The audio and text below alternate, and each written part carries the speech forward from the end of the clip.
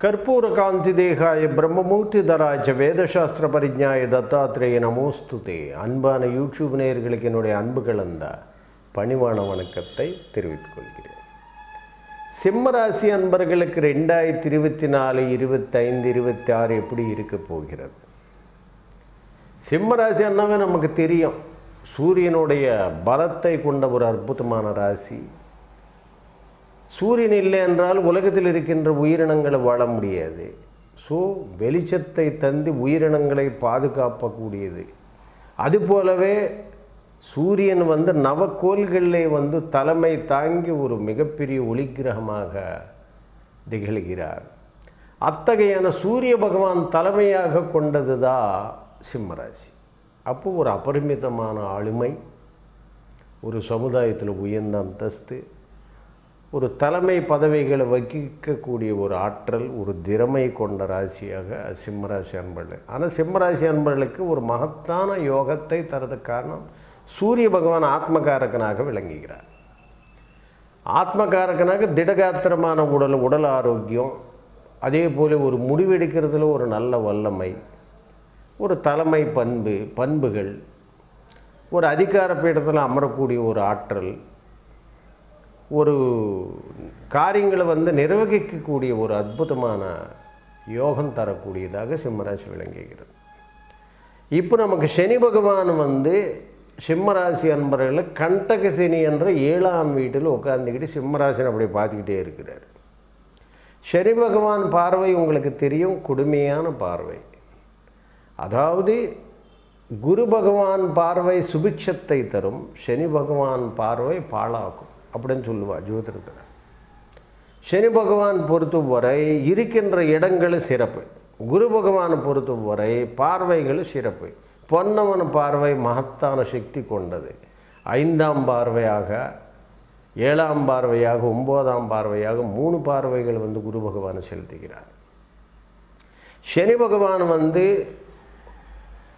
ஏழாம் பார்வை சம்சப்தம பார்வை மூணாம் பார்வை பத்தாம் பார்வையாக செலுத்துகிறார். இந்த மூணு பார்வைகள் தொல்லை தான் தரும் நிம்மதி தராது.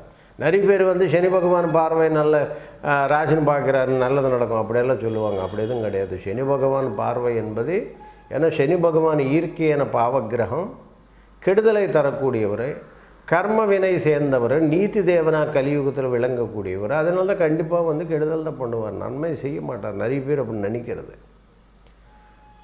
குரு பகவான் வந்து முழு சுபரே ஏகப்பட்ட நன்மைகள் அதனால தான் குரு பார்க்க கோடி நன்மை என்றா சரி பார்க்க கோடி துன்பம் என்றா. இதுதான் உண்மை.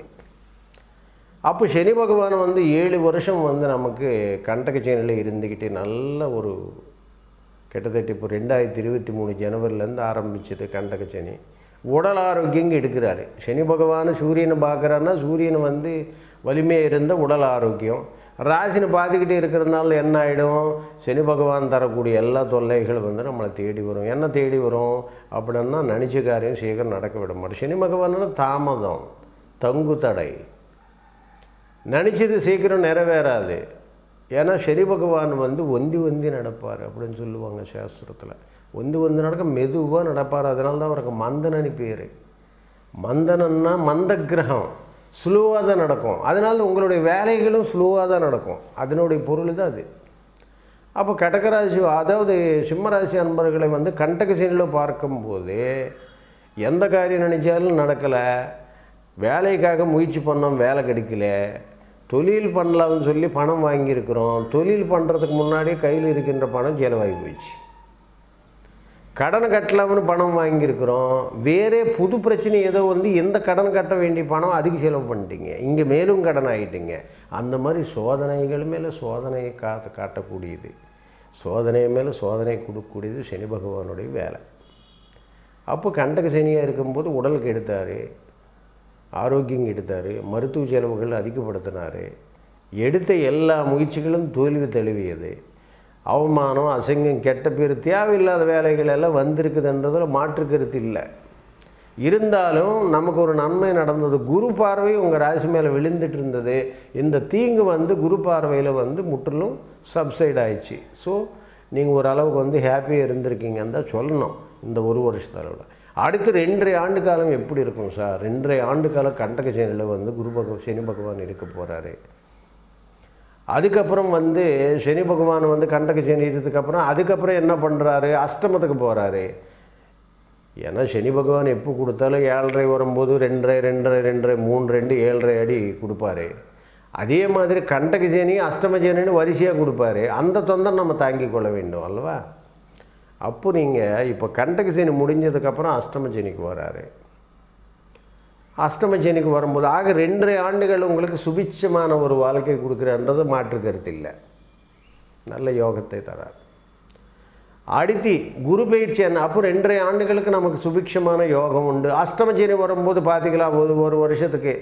அப்போ நம்ம எந்த நட்சத்திரத்தில் அவர் சனி பகவான சஞ்சாரம் இருக்குது? ஏன்னா ஒரு ராசியில் வந்து ரெண்டரை ஆண்டுகளையும் இருப்பார். ரெண்டரை ஆண்டு காலம் பண்ணும்போது மூணு நட்சத்திரங்களுக்கு அவர் பிரிச்சுக்குவார் ரெண்டரை ஆண்டு. பிரிச்சுக்கிட்டு நமக்கு நல்லா செய்யும்போது எல்லா நட்சத்திரங்களும் தொந்தரவு பண்ணாது பயப்பட வேண்டிய அவசியம் இல்லை. சரியா? ஆக அப்போ நமக்கு கண்டகசேனிலையும் பயப்பட தேவையில்லை அஷ்டம சனிலையும் பயப்பட தேவையில்லை சிம்மராசி அன்பளுக்கு ஆக அடுத்து குரு பயிற்சிக்கு நம்ம வந்தோம் என்றால் நமக்கு இப்போ வந்து சிம்மராசி அன்பளுக்கு பயங்கரமாக குரு பகவான் வந்து பாக்கியத்தில் உட்காந்து சூப்பரான யோகம் தந்தார். கிட்டத்தட்ட ஒரு வருஷ அளவுலேயே நமக்கு எதிர்பாராத நல்ல வசதி வாய்ப்புகளை உருவாக்கியிருக்கிறார். மங்கள நிகழ்ச்சிகள் நடத்திருக்கிறார். குடும்பத்தில் பல சங்கடங்கள் தீர்த்து வைத்து சுபிக்ஷங்கள் நிலவி இருக்குது குழந்தை பாக்கியம் பிறந்திருக்குது. மழலை பாக்கியம் வந்திருக்குது. நமக்கு வந்து ஒரு மலையாட்டம் இருந்த பிரச்சனைகள் எல்லாம் முற்றிலும் மாற்றி அவர் ஒரு அபி சுபிக்ஷமான யோகத்தை தந்தார். குரு பகவான் பாக்கியத்திலிருந்து உங்கள் ராசியும் பார்த்தாரு. சூப்பராக நன்மை நடந்திருக்குது. அடுத்து குரு பகவான் வந்து உங்களுடைய தொழில் ஸ்தானத்துக்கு வராரு. சிம்மராசி அன்பளுக்கு தொழில் ஸ்தானத்துக்கு வராரு. அதாவது பத்தாம் வீட்டுக்கு வராரு. பத்தாம் வீட்டுக்கு தொழில்ஸ்தானத்துக்கு வரும்போது மறுபடியும் பதவி பறி போயிடுமா அப்படின்ற ஒரு பயம் வந்துடுது. யாருக்கு? சிம்மராசி பதவி பறி போயிடுமா? ஏன்னா சிம்மராசி பெரும்பாலும் ஜென்ரலாக குரு பகவான் பத்தாம் வீட்டுக்கு வரும்போது பதவிக்கு ஆபத்து அப்படின்ற ஜோதிட விதி. இது உண்மைதான். நிறைய பேருக்கு நடக்கும். நடக்குமான்னா நேர்மையாக எந்த தொந்தரவு இல்லாத அவங்க அவங்க வேலை அவங்க பண்ணுறவங்களுக்கு நிச்சயமாக தொந்தரவு வராது.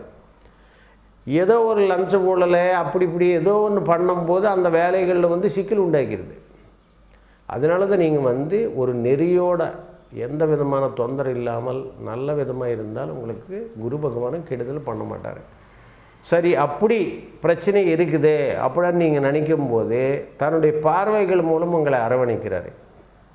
இப்போ ராசிக்கு வந்து ரிஷபத்தில் குரு பகவானும் வியாழ வட்டத்தில் உங்களோட தொழில்ஸ்தானத்தை கர்மஸ்தானத்தை குரு பகவான் வரும்போது உங்களோட தனஸ்தானத்தையும் பார்க்குறாரு குடும்பஸ்தானத்தையும் பார்க்குறார்.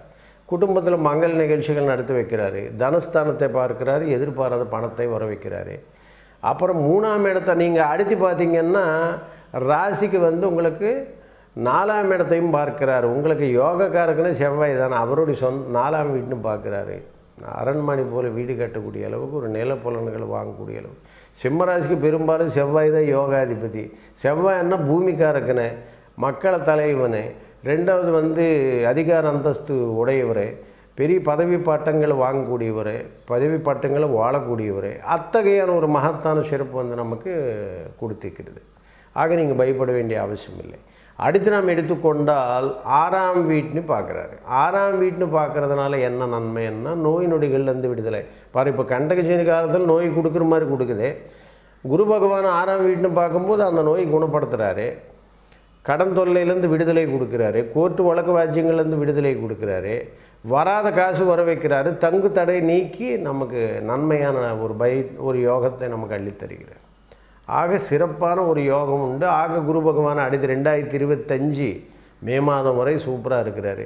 அடுத்து வந்து மிதினத்துக்கு வராரு. மிதினத்துக்கு வரும்போது உங்களுக்கு இன்னும் மகத்தான நன்மை என்னன்னு சொன்னால் மூணாம் இடத்துக்கு வருகிறார் எடுக்க முயற்சிகளில் மிகப்பெரிய வெற்றி தருகிறார் ஐந்தாம் இடத்துக்கு வருகிறார் கொள் அதாவது பிள்ளைகள் மூலமாக மிகப்பெரிய பாக்கியத்தை அள்ளி தருகிறார் பூர புண்ணியத்தின் வசத்தால் குலதெய்வத்தினுடைய அருள் இல்லம் தேடி வந்து உங்களுக்கு ஏராளமான செல்வ சம்பத்துகளை வழங்கக்கூடிய அளவுக்கு. பிள்ளைகளை வெளிநாட்டுக்கு போய் படித்து பெரிய ஆளாக வராங்க. எதிர்பாராத வருமானம் வருது பல நன்மைகள் வந்து பூர்வ புண்ணியத்தின் வழியாக கொடுக்குறாரு. ஏழாம் வீட்டுக்கு வரும்போது குருபலம் வந்துடுது. கல்யாண காட்சிகள் நடத்தி வைக்கிறார். பல விசேஷமான நன்மைகளாக மூணு வருஷத்துக்கு சூப்பராக குரு பகவானால் நமக்கு எந்த கெடுதல்ன்றது கிடையாது. சனி பகவானால் ஒரு அளவு கெடுதல் உண்டு. ஏன்னா உங்கள் ராஜநாதனுக்கு சனி பகவான் பகை. ஆறு ஏழு கூடி சிறப்புகள் எடுத்துக்கிறாரு. ஆறு வந்து நோய் ஸ்தானம் ஏழு வந்து கலத்திரஸ்தானம் இந்த ரெண்டுக்கு இருக்கிறதால் திருமணத்தில் சில குழப்பங்கள் உண்டுவாக்குவார் கல்யாண வாழ்க்கையில். அது நீங்கள் கொஞ்சம் விட்டு கொடுத்து செல்வது என்பது சிறந்ததாகும். ஆக சூப்பராக இருக்குது அடுத்து ராகு கேத்துக்களை எடுத்துக்கொண்டால் சுவாமி இந்த ராகு கேத்து பயிற்சியிலேயே பயங்கரமான குழப்பம்ன்றாங்க. அது எப்படி நாம் வந்து முன்னேற்றம் அடைய முடியும் அப்படின்னு நீங்கள் நினைக்கலாம். ஆனால் யோகத்தை தருது எதுக்குன்னு சொன்னால் சிம்மராஜ் நம்மளுக்கு நான் ஏற்கனவே சொன்னேன். விஸ்வரூபம் எடுக்கும். சிம்மராசி அன்பர்களை நான் டைட்டிலில் போட்டாதி அந்த வீடியோ எதுக்கு நம்ம சொல்கிறோம் என்றால் சிம்மராசி நம்மளுக்கு ரெண்டாம் வீட்டில் கேத்து பக்தி மார்க்கத்தில் வருது. தனஸ்தானத்தில் ரெண்டாம் வீட்டில் கேத்து இருந்தாவே உங்களுடைய பிரச்சனைகளுக்கு இறை அனுகிரகம் என்பதை வழியாக காட்டிக்கிறது. அஷ்டமத்தில் ராகு வருது. அஷ்டமத்தில் ராகு வந்தால் பர்டிகுலர்லி நான் சொல்வது வந்து ராகு கேத்துக்கள் வந்து ரெண்டு எட்டில் இருக்கும்போது கெடுதலை பண்ணும். ஆனால் சிம்மராசிக்கு பண்ணாது. இது என்ன சாமி புதுசாக சொல்கிறீங்க அப்படின்னு நீங்கள் ஒரு கேள்வி கேட்கலாம். சிம்மராசிக்கு ஏன் பண்ணாதன்னா சிம்மராசிக்கு வந்து ரெண்டாம் வீடு புதனம் பதினொன்றாம் வீடு புதனை. ஆக ரெண்டு பதினொன்று கூடிய புதனாக வராரு. குரு பகவான் வந்து பூர்வ புண்ணியாதிபதியாக வராரு. ஸோ ஐந்து எட்டு கூடியவனாக குரு பகவான் வராரு. அந்த ஒரு லாஜிக்கில் நீங்கள் பார்க்கும்போது குரு பகவான் இப்போ ராகு போய் எட்டில் உட்காந்துருக்கிறாருன்னா உங்களுக்கு வந்து குரு என்ன பலன் தராரோ அதுதான் தராரு. குரு உங்களுக்கு பூர்வ புண்ணியாதிபதி. முழிச்சுபரே உங்களுக்கு ஐந்து கோடி யோகாதிபதி. அவர் அஷ்டமத்தில் இருக்கும்போது அது ஐந்து கோடி பலன் தான் தர வேண்டும் என்ற கட்டாயம். இனி கேது பார்த்தீங்கன்னா ரெண்டு பதினொன்று கோடி லாபாதிபதி. நீங்கள் இறைவன் வழிபட்டாலே போதும் உங்களுக்கு. குடும்பத்துலேயும் அமைதி நிழலும். ரெண்டாவது வந்து பதினொன்று லாபத்து தொழிலில் வந்து செய்யும் தொழிலும் மிகப்பெரிய லாபம் வரும். அப்போ நீங்கள் உங்களுக்கு ஒரு கேள்வி வரும் சாமி அப்போது ரெண்டு எட்டில் இருந்தால் எங்களுக்கு நன்மை தராதுங்களா? அப்படின்னா நன்மை அதாவது கெடுதல் பண்ணாதீங்களான்னா கெடுதல் பண்ணும். அதுக்கு வழியை அவர் கொடுக்குறாரு. கெடுதல் பண்ணுமன்னா இப்போ ரெண்டில் வந்து கேத்து வந்திருக்குது. ஒரு பக்தி மார்க்கத்தில் பிரச்சனை சால்வ் விட கேத்தன்னா பிள்ளையார் சூரிய பகவான் சிவனுடைய இது குடும்பம். சிவனுடைய குடும்பத்தை நீ வழிபட்டாவே பிரச்சனை தீர்ந்து போச்சு. அதுதான் அதனுடைய விளக்கம். ஆக அந்த வகையில் மிகப்பெரிய நன்மை காத்திருக்கிறது ஆக சிம்மராசனங்களுக்கு இது. அடுத்து நீங்கள் பார்த்தீங்கன்னா உங்கள் ராசிலேயே வராது வருது. ராகு கேத்துகள் வந்து ஜென்ம ரா ஜென்ம கேத்து சப்தம ராகுவாக வராது. ஒன்றரை ஆண்டுக்கு ராகு கேத்து பயிற்சி வருது. அப்போ இது ஒரு ஒன்றரை ஆண்டு நன்மை செய்கிறது. அடுத்து ஒன்றரை ஆண்டு கெடுதல் பண்ணுமா சுவாமி ஏன்னா நாகதோஷம் முழுமை ஆதிக்கத்தில் வருதில்லை. ராகு கேத்துக்கள் சுழந்திருக்கிறது. மேகங்கள் சுழந்த சூரியனை வந்து வெளிச்சம் கிடைக்குமா? அந்த மாதிரி எங்களை வந்து ராகு கேதுகள் என்ற சாயா கிரகங்களை வந்து சூரியன் வந்து மிளி விழுங்கி விடுகிறது. எப்படி எங்களுக்கு வெளிச்சம் கிடைக்கும்? எப்படி தேஜஸ் கிடைக்கும்? அப்படின்னு நீங்கள் ஒரு கேள்வி கேட்கலாம். அங்கேயே மறுபடியும் நமக்கு ராகு வந்தால் சிக்கலே. சொல்கிறது புரிஞ்சுக்குங்க. லக்னத்தில் ராகு வந்தால் ராசியில் ராகு வந்தால் கெடுதல் பண்ணும். ராகு வந்து பாம்பு தலை முழு விட்டுரும் இங்கே கேத்து வருது. சிம்மத்தில் கேத்து வரும்போது பக்தி மார்க்கத்து கேத்து வந்து ஞானக்காரக்கணும் மோட்சக்காரக்கணும் முதல்ல அதை நீங்கள் புரிஞ்சுக்கணும். கேது பகவான் வந்து மோட்சக்காரகனும் ஞானக்காரக்கணும் ஆக பக்தி மார்க்கத்தில் நம்மளை கொண்டு போயிடுவா வாழ்க்கையில் என்ன பொருளினுடைய பணம் பணமான சம்பாதிப்பு வைப்பார். அந்த பணத்தை இந்த பணத்தில் என்ன இருக்குதுன்னு சிந்தனை பண்ண வைப்பார். பட்டணத்தார் மாதிரி வெளியே அனுப்பி கோமனம் கட்டி வெளியே கோமனம் கட்டி வெளியே போகிற மாதிரி செய்வார். அதெல்லாம் கேது வேலை. ராகு வேலை என்ன தெரியுமா? இன்னும் அது செய்யணும் இது செய்யணும்.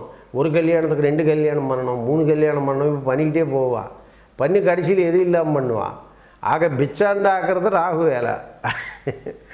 ஸோ கேத்து வந்து ஞானத்தை தேடி அலைந்து பட்டணத்தார் போல சித்தர்களை போல வாழ வைக்கும் ஞானி. ஆக ஒரு மனுஷனுக்குள்ளே நான் ஏற்கனவே சொல்லியிருக்கேன் மூணு பேர் இருப்பாங்க. ஒரு ஞானி இருப்பான் ஒரு போகி இருப்பான் ஒரு ரோகி இருப்பான் இப்போ யாருன்னு வெளியே கொண்டு வரணுமோ நீ முடிவு பண்ணணும். ஞானின்னு கொண்டு வந்தால் ஞான மார்க்கம் தெரியும். போகின்னு கொண்டு வந்தால் போக மார்க்கம் தெரியும்.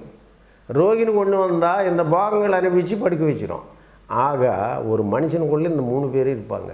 நம்ம யாருன்னு கொண்டு வரணுமன்னா எல்லாம் பேலன்ஸாக கொண்டு வந்து ஞானின்னு மட்டும் மேலே நிப்பாட்டணும். எது உண்மை எது பொய்? சூரியன் காலையில் வராரு மாலையில் மறைகிறாரு எது உண்மை எது பொய்யன்னு நம்ம உணர்ந்துட்டோம்னாவே பாதி பிரச்சனை முடிஞ்சிச்சு. ஆக சிம்மராசி அப்படி ஒரு ஞானத்தை தரக்கூடிய அளவுக்கு கேத்து வராரு. சரி ரைட்டுங்க இப்போ அப்போ நீங்கள் சொன்னபடி அந்த கடைசியில் இருக்கின்ற ஒரு ஒரு வருஷம் மட்டும் நம்ம ஜாகிரதை தரும் போதும் இல்லைங்களா சிம்மராஜ் அன்பர்களுக்கு நீங்கள் கேட்குறீங்க அங்கே கூட ராகு கேதுகளால் உங்களுக்கு பே- பாதிப்புன்றது வரதுக்குண்டாகின வாய்ப்புகள் உங்களுடைய செயல்முறைகள் நீங்கள் சரி பண்ணிக்கலாம். சரி ரைட்டு. ஒரு வருஷம் நம்ம ஜாகிரதை இருப்போங்க. அப்போ ரெண்டு வருஷம் உறுதியான உண்மை கேரண்டியான நன்மை உறுதியாக உண்டு எந்த குழப்பமும் இல்லை. சரி ரைட்டுங்க. அப்போ தசாபுக்திகள் மூலம் ஏதாவது கெடுதல் இருக்கா? ஒரு ஆலோசனை. தசாபுக்திகள் மூலமாக பார்த்தோம்னா இப்போ வந்து மகத்தில் பிறந்தவங்க ஜெகத்தை ஆளுவாங்க. அவங்க என்னதான் ஃபீல்டில் இருந்தாலும் அந்த ஃபீல்டில் டாப்பில் இருப்பாங்கன்றது நமக்கு எல்லாத்துக்கும் தெரியும். அவன் சினி ஃபீல்டில் இருந்தால் சினி ஃபீல்டில் டாப்பில் இருப்பான் இல்லை எடிட்டிங்கில் இருந்தால் பெரிய எடிட்டர் எடிட்டராக வந்து சினி ஃபீல்டில் வந்துடுவார் அந்த மாதிரி என்ன துறையில் இருக்கிறாரோ அந்த துறையில் அவர் கொடிக்கட்டி பரப்பாருன்றது உறுதி. ஆக அப்போ ரா அப்போ மகத்தில் பிறந்த